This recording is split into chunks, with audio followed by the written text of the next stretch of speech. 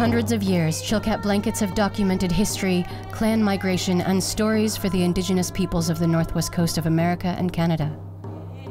Chilkat Protector serves as a record of this time. In the future, people will know we were here, we took care of each other, and we survived. We are still weaving.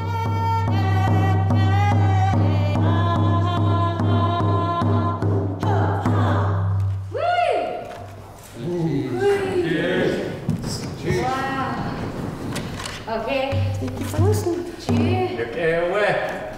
Thank you, Aunt Irene, for singing. That's, you know, that's three for three. She's brought the work to life so many times and helped my mom and bringing all that to life in her work too.